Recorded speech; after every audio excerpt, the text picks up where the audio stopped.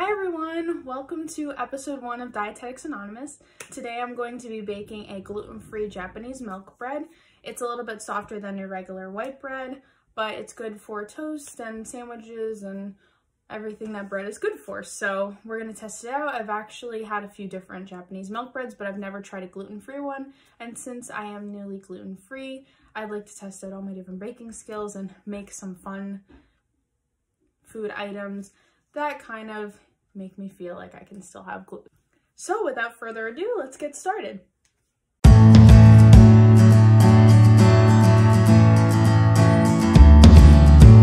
So right now I'm making the water roux for the bread. Basically, it is just a half a cup of water and two or three tablespoons of um, all-purpose gluten-free flour. I use Bob's Red Mills. And you whisk it together in the pan and you cook it on a medium heat. I will put specific directions in the comments below, but this is the gist of it. When your roux begins to look like this, they mention it as leaving an active trail, so it's like kind of coming together. That's when you want to remove it from heat and let it cool to room temperature. Alright, so next what we're going to do is we're going to add some of our dry ingredients into the stand mixer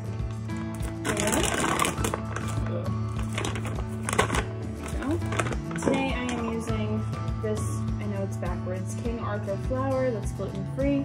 Um, I use this one because it's mixed already with a xanthan gum, because if you don't have one that's already mixed with one, you're going to want to get that, or you have to purchase xanthan gum separately. Um, it helps with like the elasticity of the bread, it makes it a little bit more fluffy.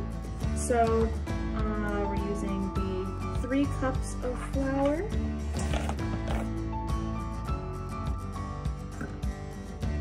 We are also combining in the cream of tartar, which calls for a quarter teaspoon of that.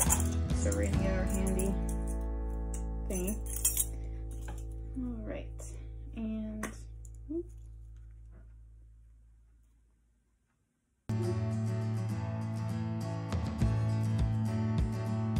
there you go.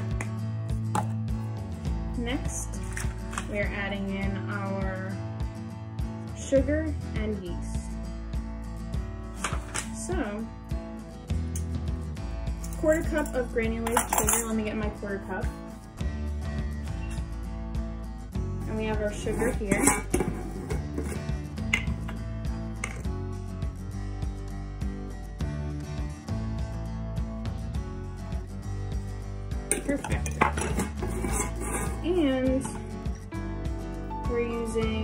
Two and a half teaspoons of our yeast, which we have right here. So we're gonna get a teaspoon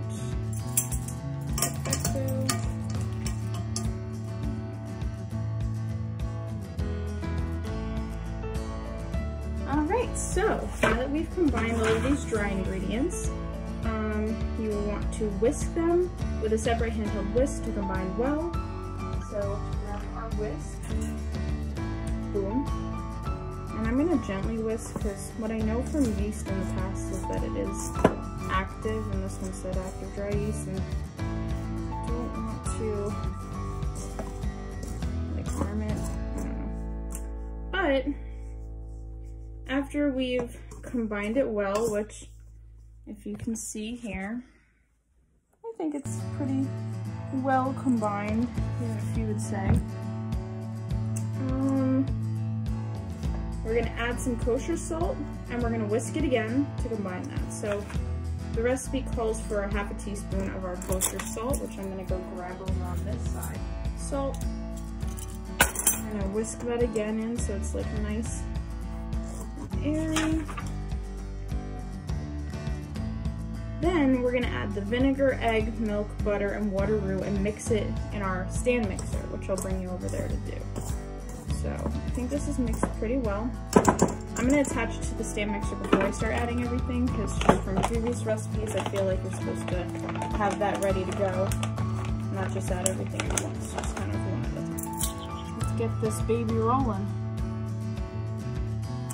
Lock that in place. I'm gonna put on a low speed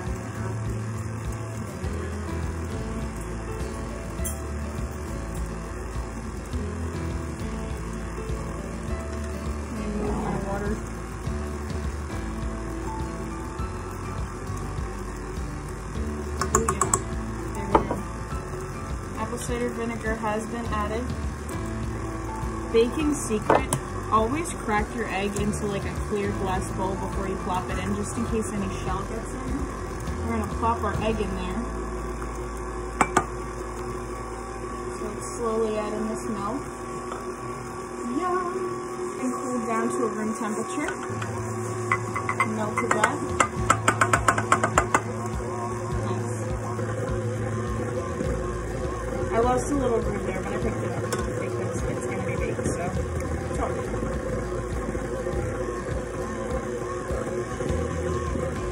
Dough is coming together fantastically. I'm really excited about this bread. Let's bring up that speed a little bit. Shaking all over.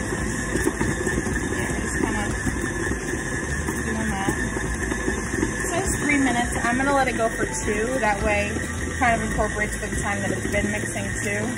So it's about 11.55. Uh, wait until like 57, let's say. While that's mixing, I know you're not really supposed to walk away from your mixer, but here I am doing it. Uh, I'll tell you guys a little bit about why I'm gluten-free. So, um, I had a few different digestive issues go on uh, I want to say like a year ago. And they all stemmed around me getting these like extremely painful gas bubbles in my stomach to the point where like I couldn't even move and like it just was like completely excruciating and like I would be laying in like a cradle fetal whatever you call it position and like I would couldn't even breathe it was just so bad and like um I also was having issues with every time I would eat I would get nauseous afterwards and I had like overly bloated and all this stuff so it turns out I do have IBS, which I think everybody has IBS. Um, I'm studying to be a dietitian, obviously, hence the name of the YouTube channel. But um, I feel like IBS is kind of like everybody has it. It's overly diagnosed, but I guess kind of means that you have to be careful with certain foods because they irritate your gut and will make you have either constipation or a form of diarrhea. So, you know, talking about diarrhea while I'm baking. But um, yeah, so I have IBS. I also have GERD, gastroesophageal reflux disease, also another common issue. But in general, these things go along with just changing things up in your diet. I noticed that gluten is a big cause of the gas bubble problems I was having. It's just my body can't digest it as well. Same with dairy and like all those things, which I think is pretty common. That's why everybody's on the gluten-free diet. I mean, sans the trend people who are doing it just because it'll make them lose weight, which is not really a thing. But, um, yeah. So, I've been gluten-free for a few months now, and honestly, I haven't had a single gas bubble or, like, pain in my abdomen in this entire time. So I'm really thriving. Love that. But, yeah, so I'll probably do a video talking more about, like, IBS and, like, ways you can combat it and, like, all that stuff. But that'll be later on. Today we're focusing on bread, ironically. So, it says, once it's incorporated into the wet ingredients, turn the mixture up to high. We did that. Should be shaggy and tacky to the touch. It is. Uh, turn the dough onto a very lightly floured surface and divide it into three equal portions. We're gonna lightly flour this surface. Kind of like, I know it doesn't look light, but it's pretty light. We're gonna plop this up here.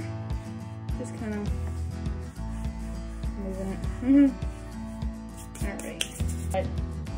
We're going to take our dough plop it here on this lightly floured surface as the recipe states.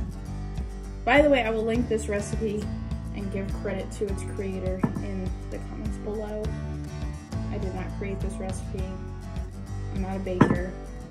I'm just a student on quarantine who wants some bread and cannot buy it because honestly, all the gluten-free breads that I bought I don't like, so I'm gonna try and make it that's not even true. I like the Trader Joe's one. It's decent. It does what it has to do for my like avocado toast or like my sandwiches. It's not great for grilled cheese, but it does what it needs to do. I'll give it that.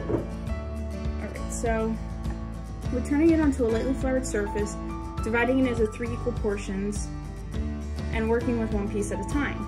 So let's divide this into three equal portions. So if it's like a ball, all right, let's roll. I think, uh, here's the idea. Let's roll it out and then, okay. There we go. That seems like equal to me, right? Yeah, that's good enough. Okay. Wow, this is actually really nice dough. I've never felt a gluten-free dough that actually is like mushy like this. I'm having good vibes about this recipe. Okay, so it says, working with one piece at a time, pat out the dough into a flat disc about three quarter inch thick. I feel like that's about three quarter an inch thick.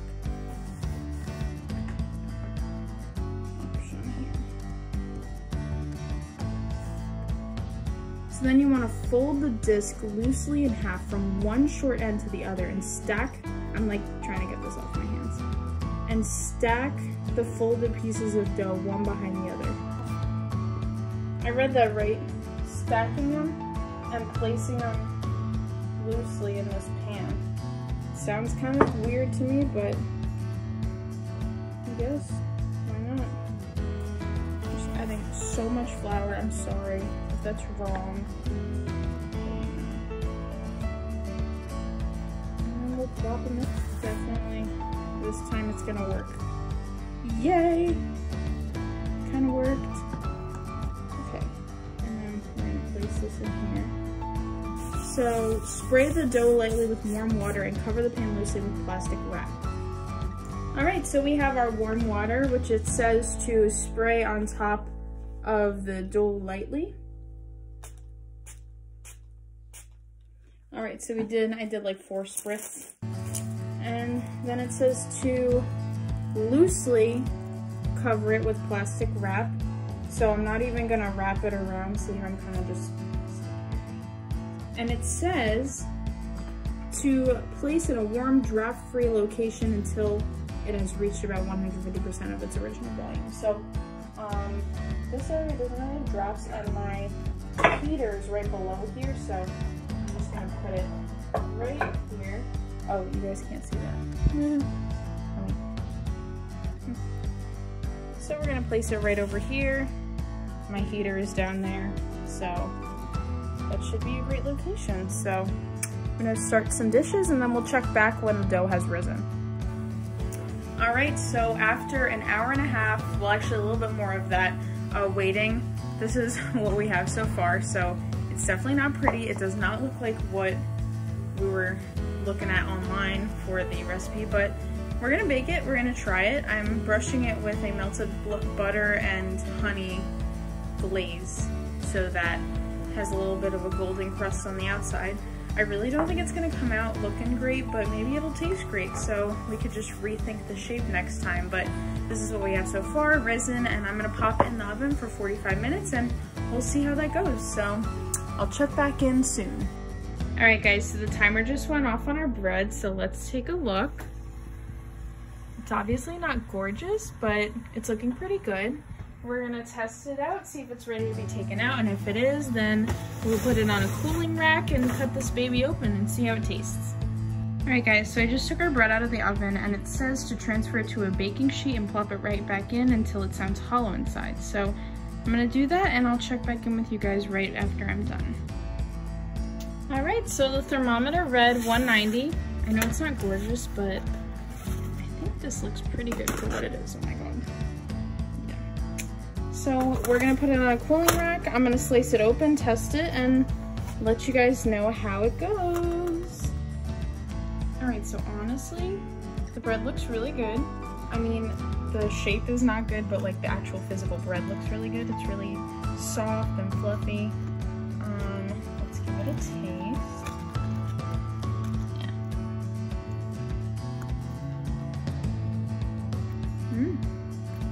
That's pretty good. It tastes really, really good. It's definitely like um very light and fluffy. And like it tastes like a regular bread to me. Even tell it's gluten free. Yeah, I would say this job well done. I'm gonna go put some butter on this and toast it and finish my essay. But yeah, I would say overall successful. Definitely don't understand the whole shape thing with the folding and stuff. Wouldn't do that next time. I would just make a loaf like normal bread. But overall, the recipe was really good. So props to that. I'm gonna throw the recipe in the comments below. So comment, let me know what you think.